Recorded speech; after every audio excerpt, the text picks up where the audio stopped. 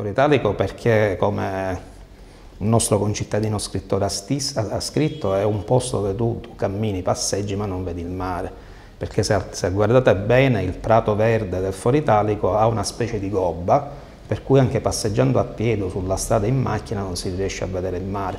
C'è questo orizzonte segnato proprio dalla gobba, dell'erba verde con l'azzurro del cielo. Quindi sicuramente la parte più martoriata con il materiale risultato della seconda guerra mondiale è stato il Foro Italico.